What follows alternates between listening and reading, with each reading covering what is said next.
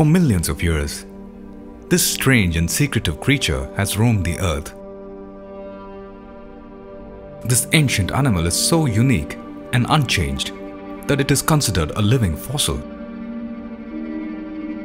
This is the Indian spotted chevrotain, also called the mouse deer.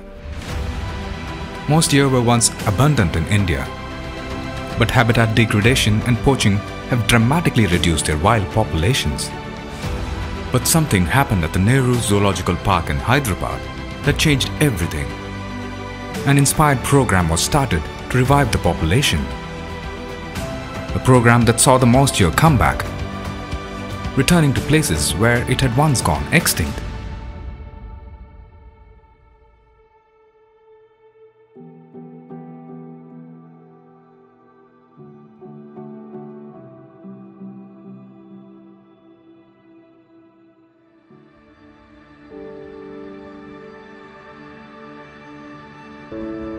Mouse deer are found in some of the evergreen and deciduous forests of India. They are a very important species for the well-being of an ecosystem. They help disperse seeds and form an important prey base for some of the large and small carnivores. But their status in the wild was precarious. The Telangana State Forest Department has been entrusted by the Central Zoo Authority to take up one of the initiatives of captive breeding of those species which are dwindling in numbers in our own forest areas. One such project Telangana department has taken up in the Hyderabad Zoo is the mouse deer captive breeding and as well as reintroduction into the wild.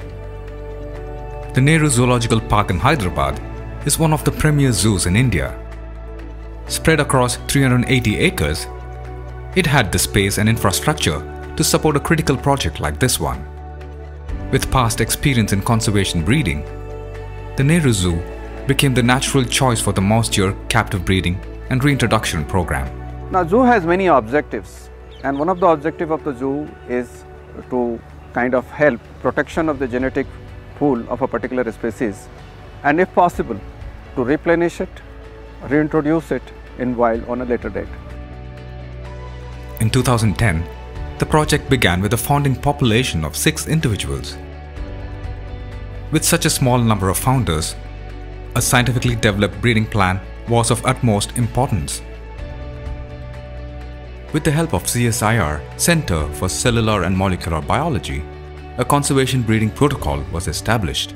At LaCONES, we have uh, ability to uh, genotype individuals, identify the founders, and tell them which are the founders which are uh, the most variable genetically so that you can use them for the breeding program. Uh, and that has helped the population uh, that has grown now uh, in the zoo to be uh, very heterogeneous. During the course of the program, some interesting facts about mouse deer breeding came to light. Unlike most other mammals, mouse deer females come into estrus almost immediately after they give birth. This was a significant finding. This meant that the captive population could grow at a much faster rate. Instead of separating the males from the females at the time of giving birth, they were now left together, and this immediately showed results. From 6 individuals, the number rose to more than 300 within 9 years. With a rapidly growing population, the infrastructure and animal husbandry needs had to keep pace. The breeding center has grown from having one block with 8 pens to now having 3 blocks with more than 60 pens.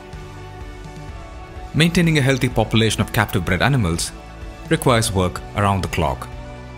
The enclosures are enriched to provide a suitable habitat for the mouse deer. Since they are shy animals, providing hiding places for them is critical. Fresh vegetation is added on a daily basis for the mouse to rest and feed. The team of animal keepers and biologists constantly monitor the enclosures.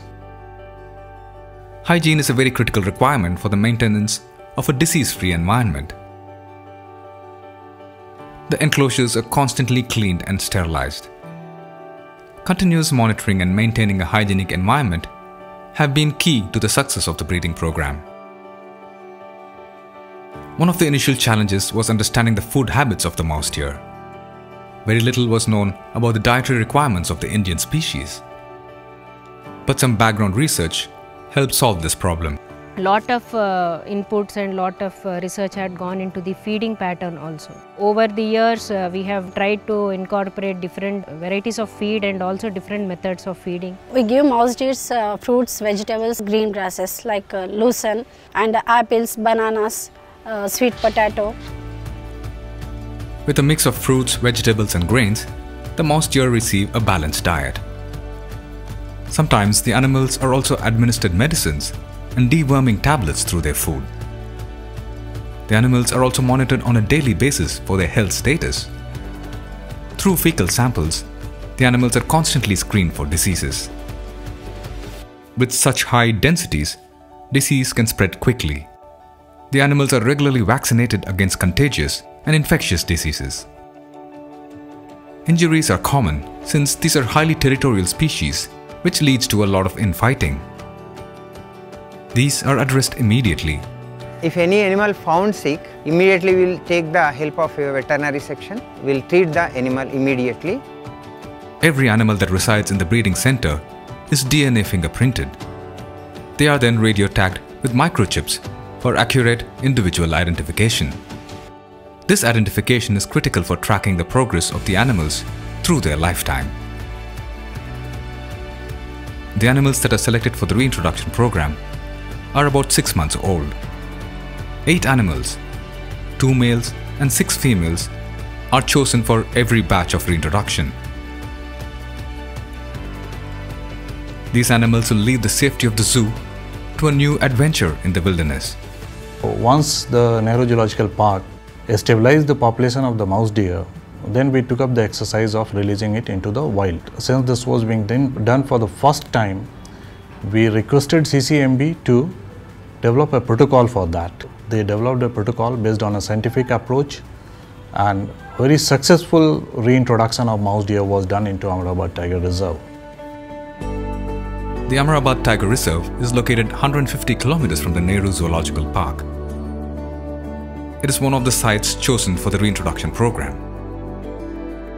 The Tiger Reserve is covered in deciduous forests, an ideal habitat for mouse deer. About 30-40 years back, this area was having already mouse deer. So of late we are not finding in this place. So this is one of the perfect place as a habitat for mouse deer release. The reintroduction process is strategically planned to help the animals transition from their life in captivity to an independent life in the wild. This is a gradual, stepwise process. For these young animals, this is the first experience of being out of cages and being surrounded by open wilderness. The soft release facility is divided into three zones, each one with different sets of parameters, but all designed to make the deer less and less dependent on human support. Zone 1 is the stabilization zone. It mimics the conditions of the forest outside, but the mouse deer will be provided with food, like in the zoo, but also supplemented with wild species. They are also given water in a bowl, just like in the zoo. The deer also have the luxury of an artificial shelter. With the comfort of some zoo-like facilities, the animals are given 14 days to settle down. This makes their transition from the protected zoo conditions easier. After this period, the animals are transferred to the second zone. This is the acclimatization zone. Here, some of the support is withdrawn.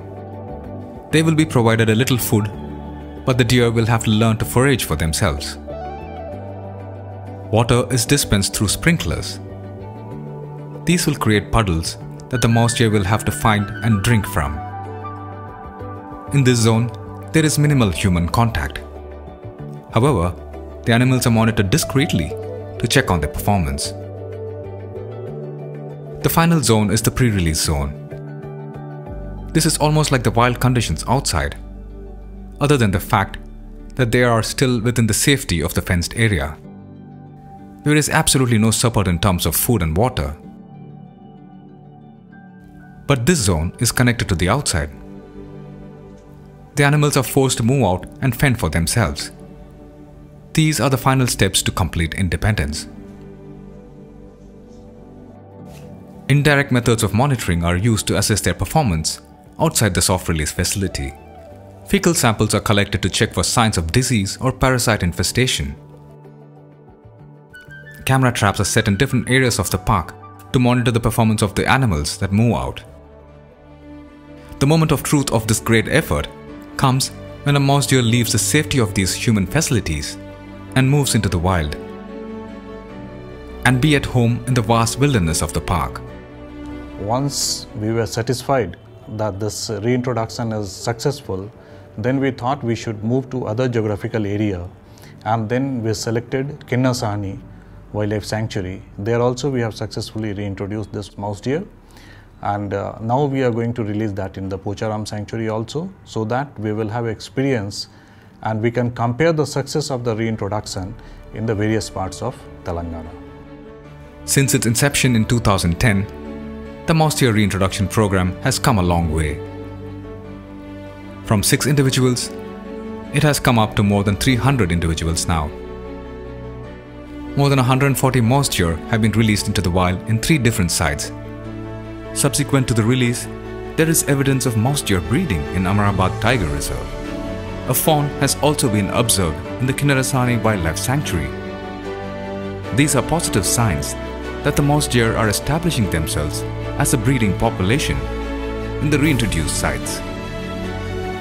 With the success of mouse deer breeding in captivity in Nehru Zoological Park, uh, with that with our team of uh, animal keepers then our uh, feed store in charge our biologist our uh, efficient veterinary team. We are now thinking that uh, we can handle the conservation breeding of other endangered species also. This is an amazing story of how a well planned and scientifically managed reintroduction program can help bring back wild populations. These are still early days in the project but to see a deer that is born in captivity roaming the wild is a message of hope for all of our wilderness.